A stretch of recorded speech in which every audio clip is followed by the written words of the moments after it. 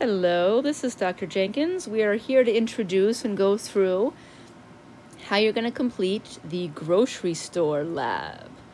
As you're going to hear me say later on, this is something that you can do at the actual grocery store or you can do it from home. So either way, let's just jump right in. Okay, so we have an outline here. We're going to review some things as we always do because the more we go through it, uh, the better off we are at getting it into your brain cells. And then I'm going to go through how to actually complete the lab. Make sure that you review the three energy systems that our muscles will use to create energy.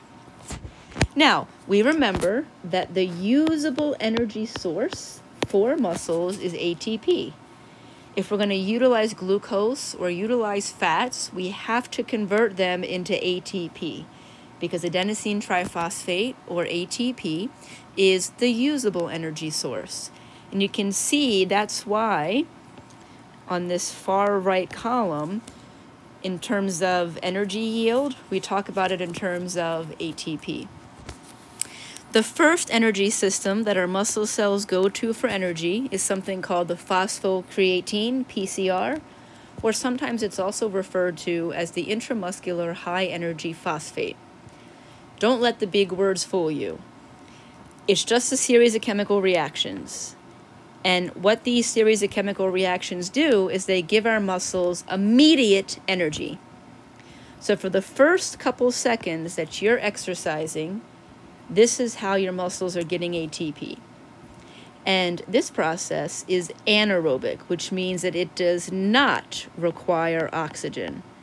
And that's why it can happen so quickly. But if you exercise for longer than a few seconds, which most of us do, then you're going to need to generate more ATP. And the second series of chemical reactions, or the second energy system that we use, is something called anaerobic metabolism, or sometimes called anaerobic glycolysis. This is going to provide additional energy. You can see here it says additional 5 to 15 seconds, depending on what source you read. It may even say up to an additional 60 seconds. But we can suffice to say up to a minute or so. This is also anaerobic. But if we're still exercising after a minute or 90 seconds or so, then we begin to create ATP the third way, which is called aerobic metabolism. And it's called aerobic metabolism because it does require oxygen. Make sure you know these in order. Make sure you know when they're used and whether they are aerobic or anaerobic. Excellent review of the fuel sources. In other words, what's being converted into ATP. We just went through these chemical reactions that are producing ATP, ATP, ATP. But what's going into these to create ATP? Carbohydrates, fat, or protein? Well, let's talk about it. The first thing that your muscle cells are going to use is glucose and they'll just take some glucose right from the bloodstream. Then we will utilize stored glycogen. We'll break that glycogen back down into glucose.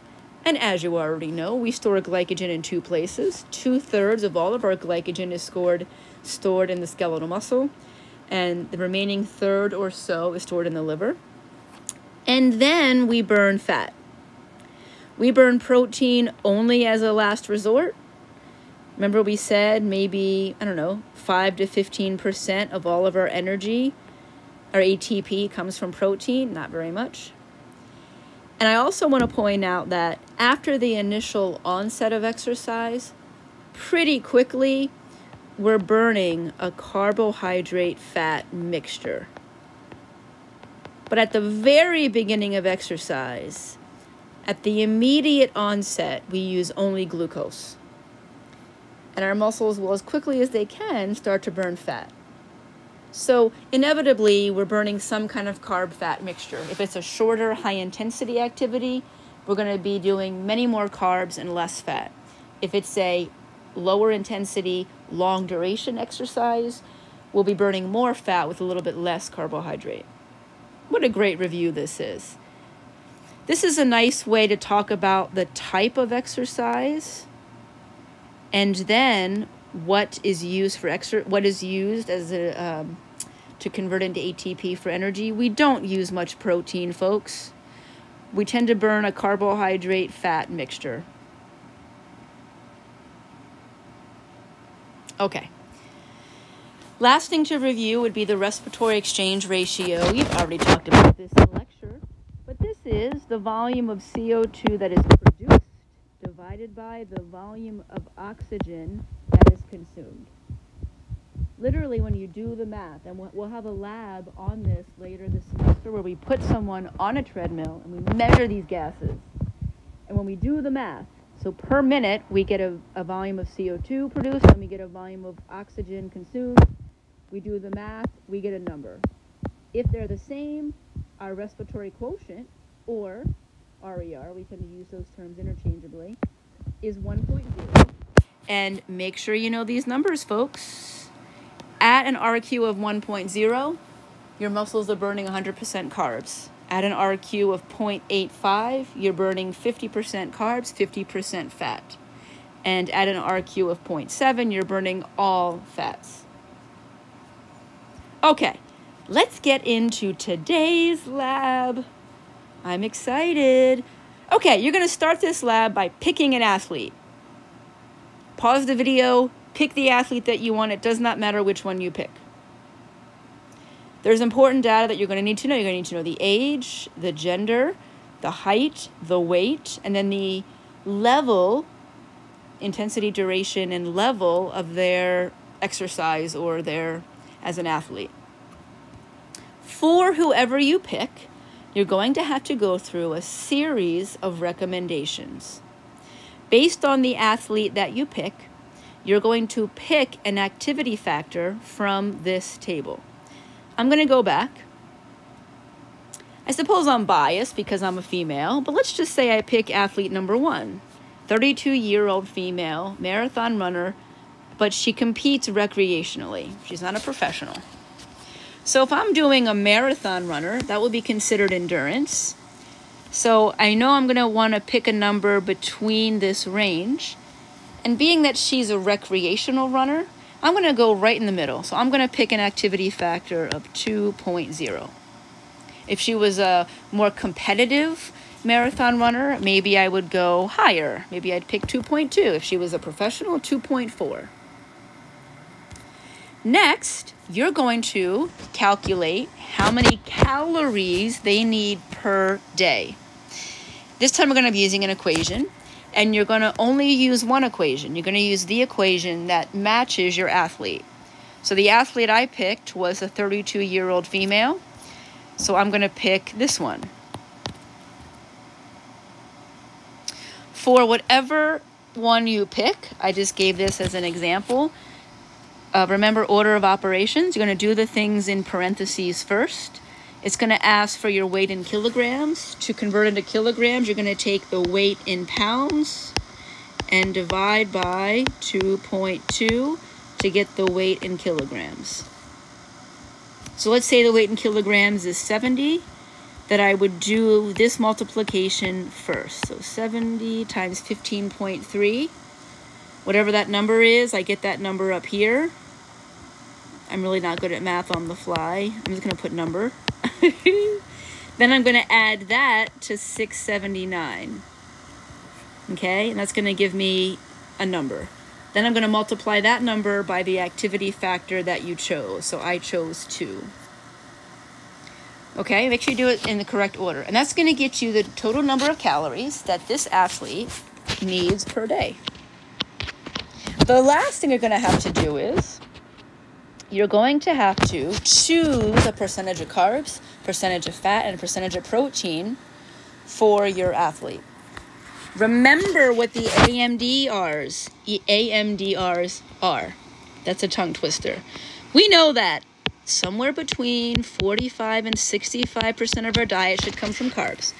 We know that somewhere between 20 and 35% of our diet should come from fat. We know that somewhere between 15 and 30% should come from protein. You're going to choose numbers, and there's not necessarily one right answer. You just have to be thinking and using some common sense. So if I'm going to use the endurance athlete, that was the just for example's sake. Don't use my numbers as I'm recording this. I'm thinking, please don't use the same exact numbers that I do. Actually, you know, I'm going to choose myself because I don't want to give anything away. I want you to have to think about it. So I'm going to use myself. I'm a cyclist um, of a certain age, and I compete pretty recreationally, but kind of competitively.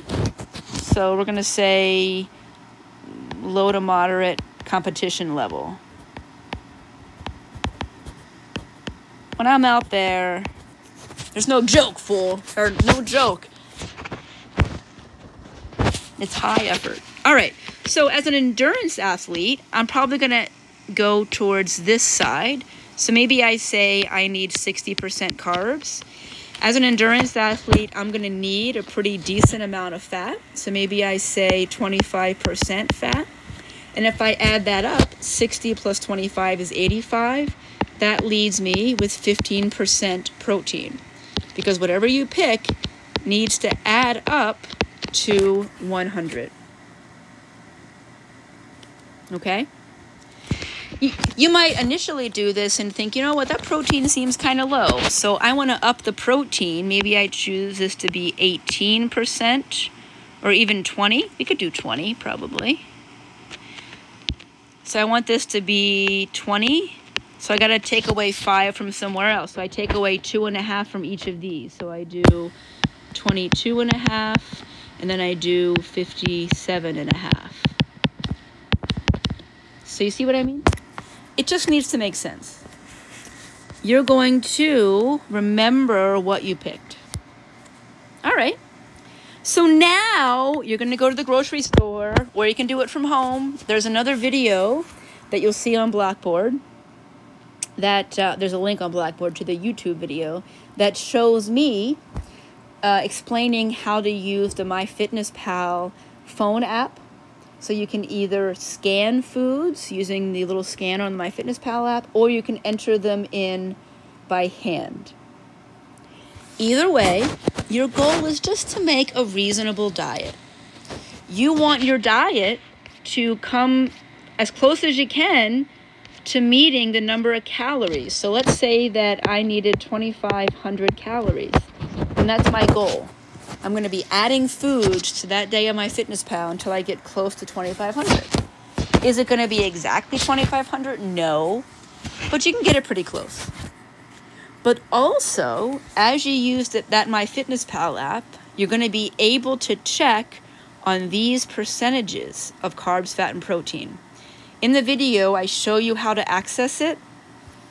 On MyFitnessPal, you'll see a bar graph like this. It's under Other on the menu, and then Nutrition, and then you click on Macros.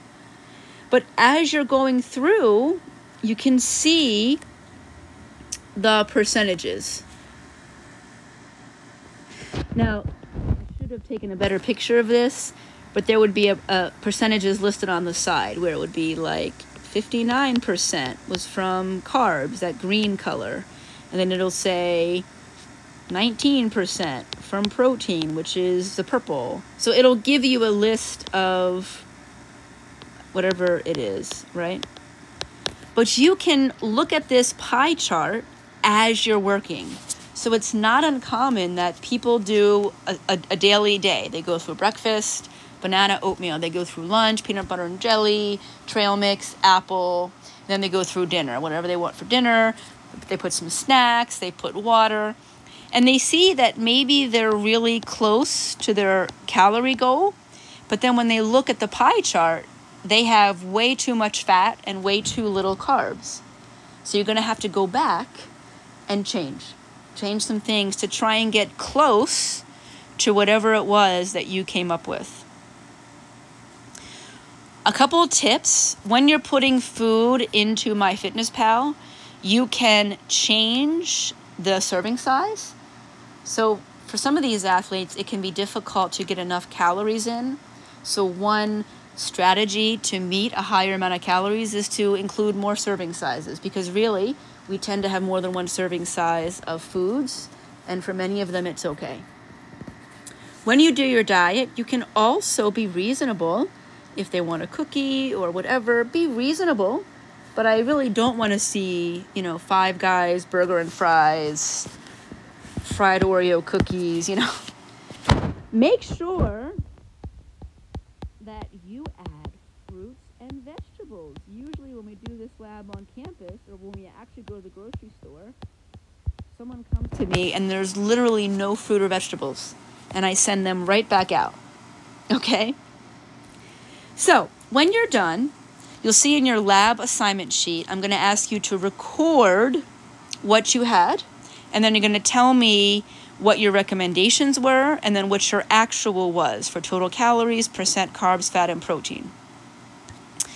This is meant to be just an exercise in practice. Uh, you're not a dietitian, neither am I, for that matter.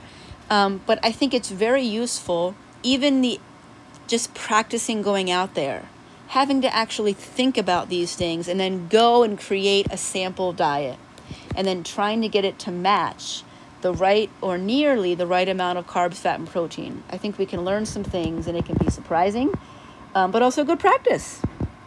All right, off you go.